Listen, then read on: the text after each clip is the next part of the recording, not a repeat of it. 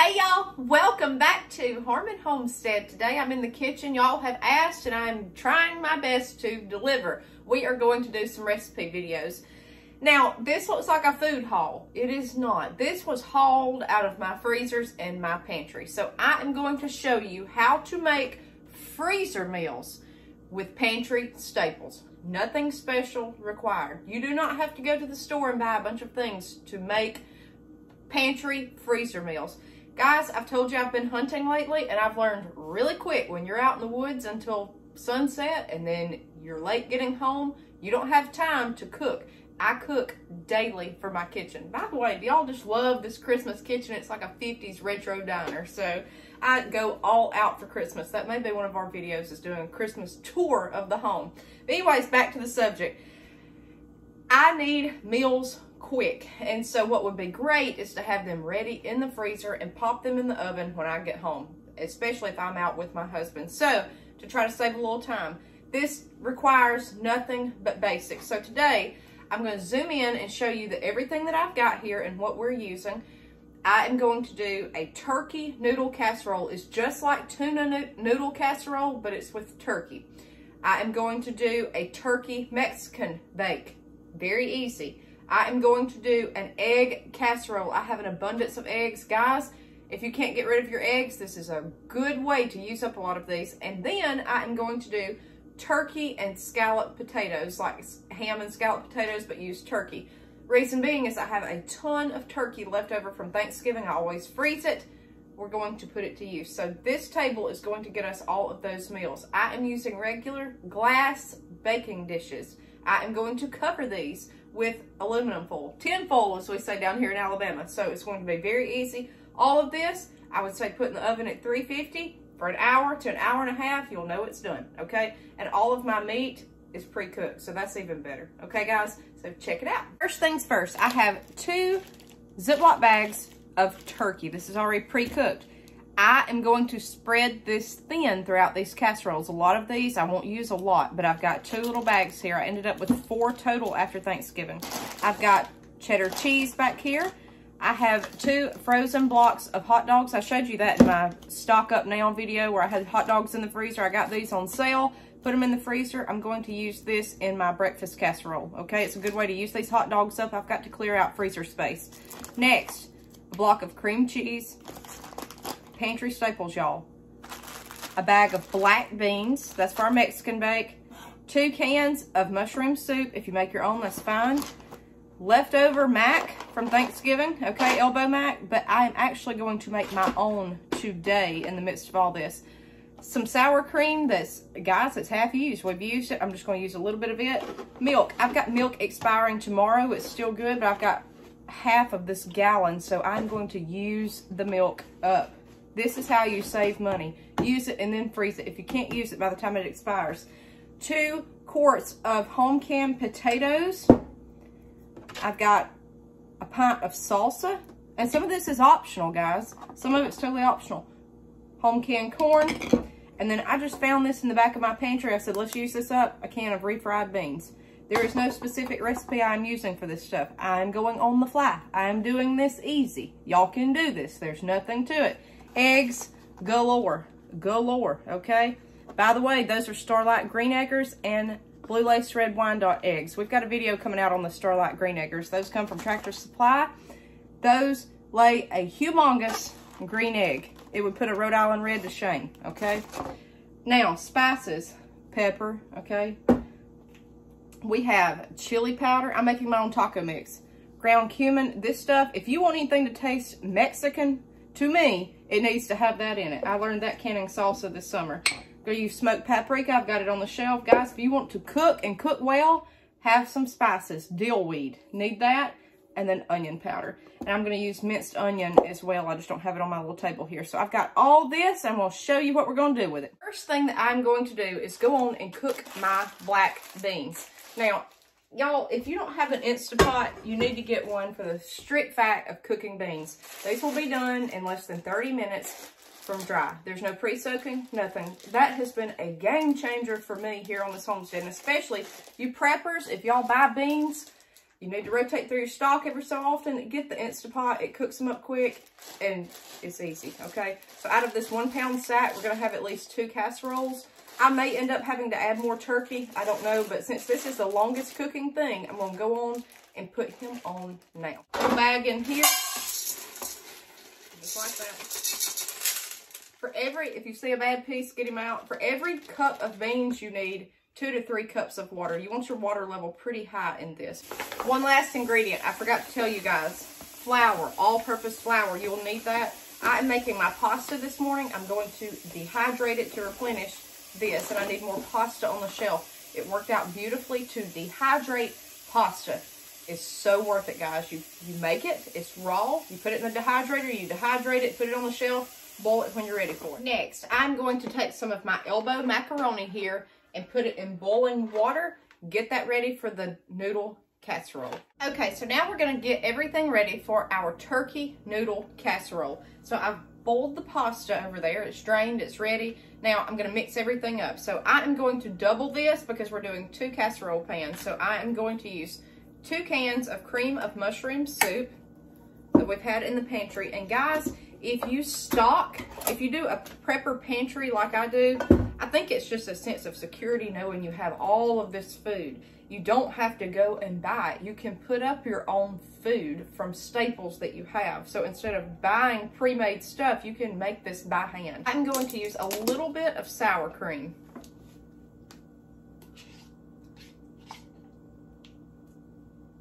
That should work. All right, about a cup of milk.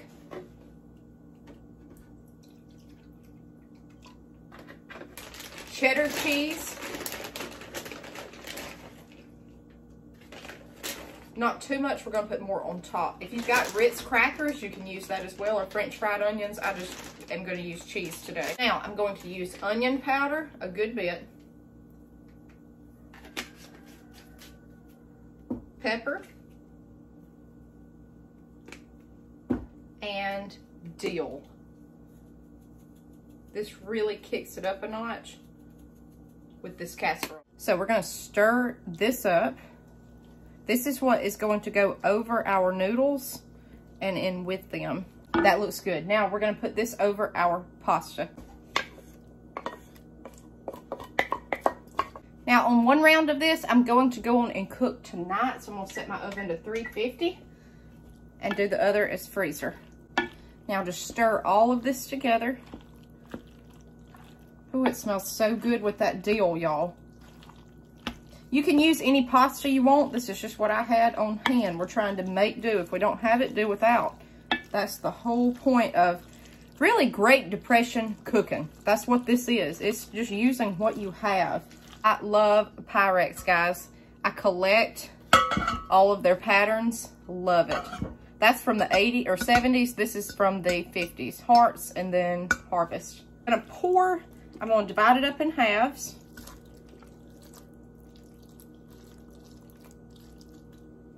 Okay.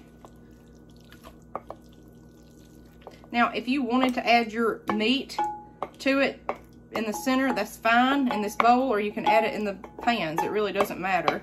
All right, y'all. So I have put my turkey in here. It's in little chunks everywhere, and then I have used one block of cream cheese, just chopped it up in between the two. Now, if I was just making supper for me and my husband, I'd probably use the whole thing. But now just stir it all in. There's a big chunk of turkey I couldn't get broke apart. Again, if you've got freshly cooked, this is that's the time to do it. But I had all this frozen, so it is what it is. Okay, we're going to mix it up. It does not have to be perfect because it's all going to melt take the dill again and we're going to go back over this. Just like that. Pretty heavy, again, especially if you don't want it to taste like a casserole. Now, go back with the cheese. This is like a deluxe casserole, how I do it. You're to take it and just go all over the top. Again, if you've got Ritz crackers, that's great. I think I'm to put some on for tonight, but not um, not the freezer one. Okay, so him I'm going to plop in the freezer. Him I'm going to put in the oven. Good tip, write on your casserole what it is, especially if you're doing a lot and the date. That way you'll know that when it's good or not. Okay, I used mine within a couple of months. We're going to use this fairly quickly. It's just a quick dish to have for dinner at All right, night. guys, our turkey casserole is almost done in the oven. It smells amazing in here. Our beans just come out of the Instapot. If you hear something, I am dehydrating my pasta. I've been doing that in the meantime, and I just took these out of the pot. They are hot. So let's make our turkey Mexican casserole. I am going to open one can of home canned corn. I am going to drain this. I'll put it in here. Remember, this is for a double batch. Salsa. Save your canning lids. You can use those on jars for dehydrated food. It does not have to be pressure sealed. You can get a vacuum pump to pressure seal your jars of dehydrated food. And we're going to invest in one of those. Okay, I'm going to pour the whole thing in here, y'all the whole thing. We're going to add our spices. So I'm going to start out with my ground cumin. And you want a good bit. Remember, we're doing a double batch.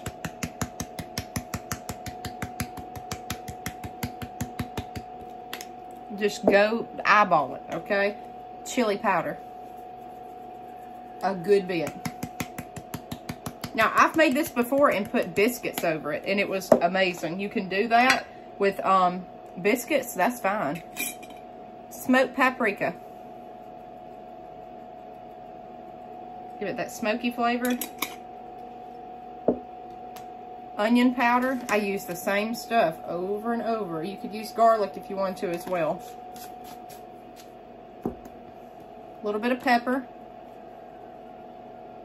Now we're to mix this up don't y'all just love my Christmas spatula? I love Christmas here. Okay, so we're to add our turkey as well, but I like to try to just get this going a little bit. Look at that. Oh! So I grew the corn. I made the salsa. I grew everything in the salsa. The only thing I bought was the black beans and the spices, but we're just going to amend that this year. We're going to have an herb garden this year coming up. So it's kind of liquidy from the beans. That's really perfect, what you want. Now I'm going to add my turkey and some cheese that sour cream we had where we just used a little bit earlier, put the rest of the container down in this. That much, not much, okay? Again, using scraps. This is how gumbo came to be. This is how jambalaya come to be. People used what they had in their kitchen.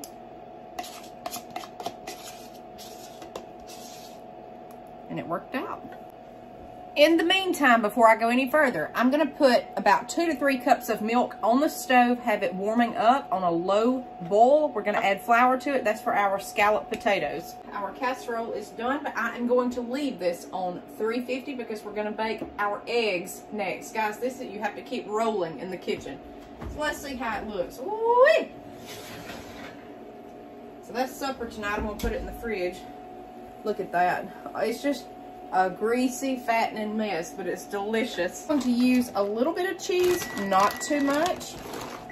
Cut my timer off. It looks like a lot, but it's not, it's not like one casserole. Usually I use about two cups of casserole. Give it a quick stir. I like to stir as I go. Some people don't, but I kind of do. Oh, it smells like just the best nachos ever. And don't forget, we've got this coming up too. Now we're going to add our turkey. I am going to shred this up fine and we're going to use a very scant amount, okay? Not a lot, just a little bit. I'm making do with what I have. I have a small quart zip bag full and I've got to make it last for the rest of these recipes. Stir it all in. And still, that looked like a little bit of turkey, but guys, it goes a long way. And remember, this is for two casseroles. Okay, so it looks terrible. I know. If you had two cans, you could spread it. I don't have enough to do that. I just divvied it up between the two. It's going to add filler to it and more flavor. So now I'm going to take this. We're literally go going to pour it on top.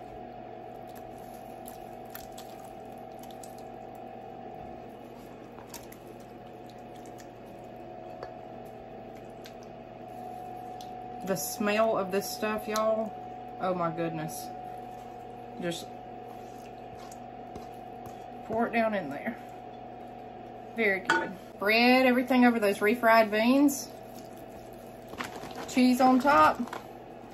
That's it. We're going to put tinfoil on it and put it in the freezer. So that's one, two, three, four casseroles we've made this morning. Easy peasy quick. freezer meals. Now, I'm going to do the scalloped potatoes with turkey, and we're going to do our breakfast bake that we'll probably be eating at night with the hot dog. Brought you over here to my milk. It's not boiling yet, but it's starting to crackle on the top, so I'm going to go ahead and add my flour. All-purpose flour. I'm using two-thirds of a cup. I want this pretty thick, okay?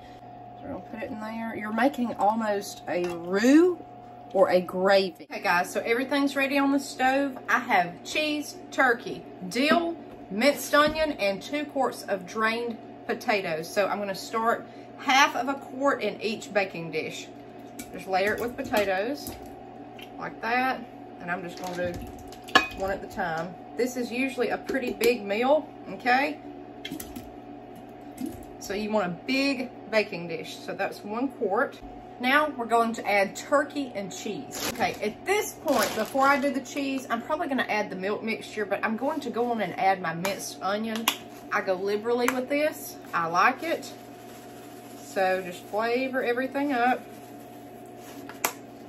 Then your dill. Go heavy on dill, guys. I'm telling you, it's, it's great to cook with, especially if you grow it, and it just makes stuff not bland. Next, milk mixture, a little bit in each casserole dish, about a quarter of the pot, because we're gonna half the pot. Half the pot goes on now, half the pot goes on at the end. Pour a little bit. If you've got flour chunks in it, that's okay. It'll all thicken up. Okay. See, everything looks kind of rough and then it starts coming together. All right, now we're going to go with our cheese. If you notice in these recipes, everything is kind of the same ingredients over and over and over. You, I drained this one the best I could. You, to kind of get them layered out. Now, I call this scalloped potatoes, but I can mine in chunks, so that's why it's just chunked canned potatoes. Pop at the end. This is why I added so much flour. I want this to beef up and make a huge, thick casserole. Onion. Add pepper.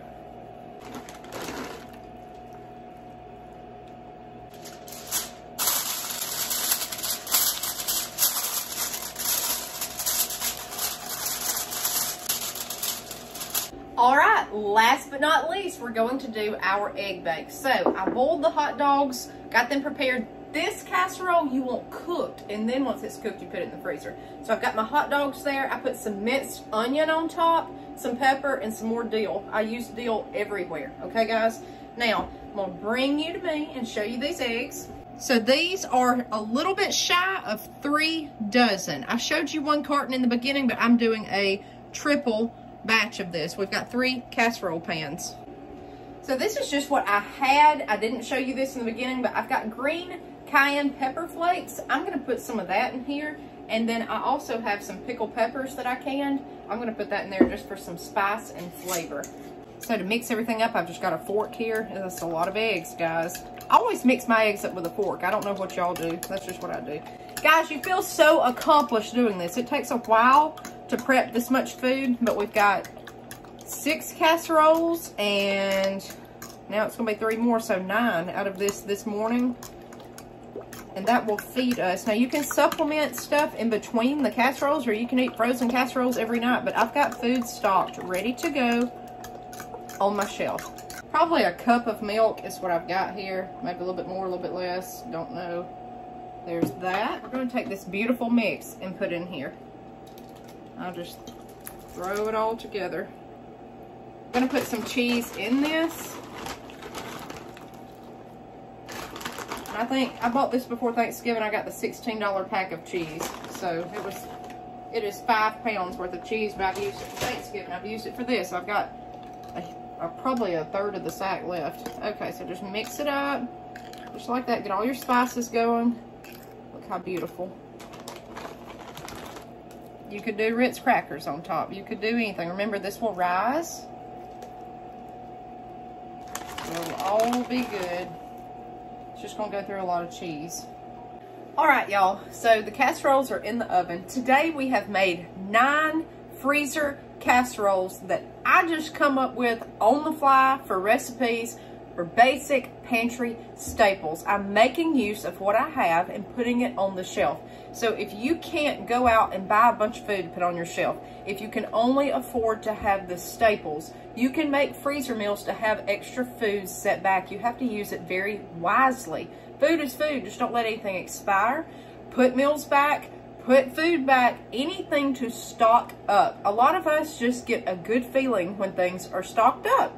We like it. We like to have a lot of food and a lot of stuff. It never hurts. And this is really just making weeknights easier, especially if you've got children, anything like that. I don't know if you'll have time to do all of this at once, but if you make an egg casserole, just triple it. That's just triple it and put the other two in the freezer you don't have to do a whole day of meal planning. You can do just an hour here or double it when you're cooking supper, freeze the other one. That way you'll get ahead over time. But this is how we stock up our pantry and our home. It doesn't have to be just dried beans. I'm using the dried beans to put more food on the shelf. So just keep rotating everything. That's the key to all of this. So I hope these freezer meals will encourage some of you. Maybe you can make a little extra and put it in the freezer. Whatever you do, just keep busy. You got to stay in the kitchen, guys, and you got to get after this, especially if you're homesteading.